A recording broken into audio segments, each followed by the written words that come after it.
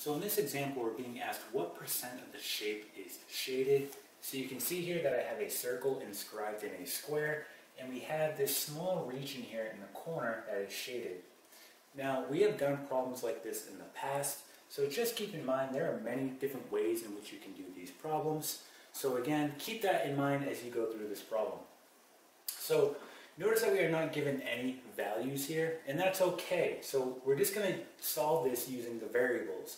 Okay, so for example, with my circle, what we want to do here is we want to find the area of the circle and the area of the square. So we have this circle here, and I know that, well, this is going to be my radius right here, right? We'll call that r.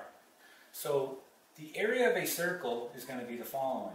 Area of circle is pi radius squared, right? And now let's think about our square. So if our radius is here, and then we have our side length of our square, we know that we can call our side length 2r, right? We want to keep everything in terms of r here, right? So my area of my square, right? So this will be 2r, this will be 2r, and I know that if I want to find the area of a square, I simply just multiply the sides. So essentially what I'm doing is I'm doing 2r times 2r, which is going to give me 4r squared, right? So now I have the area of the square and the area of the circle. So at this point, right, what we want to do is we want to find these four small regions right here. So in order to do that, I'm going to do the area of the square minus the area of the circle. So for example, I'm going to do 4r squared minus pi r squared. Now remember, this is going to give me all four regions here. And I only want one, right? So only one out of those four regions are shaded. So in other words, I'm going to multiply this whole thing by a quarter. And all I'm going to do at this point is distribute this quarter inside to both of my terms. And when doing that, I'm going to get the following. I'm going to get r squared minus pi r squared all over 4. Okay? So this now is giving me this small region right here that is shaded. Okay?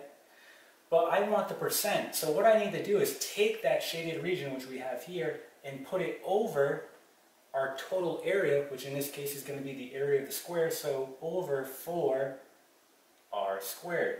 Okay? So let's go ahead and break this down. So again, I have two terms up top that have the same denominator, so I can break this apart. It's going to look like this. I'm going to have r squared over 4r squared minus pi r squared over 4 over 4r squared. Okay? So rewriting this, we get the following. We get r squared over 4r squared minus pi r squared all over 16 r squared.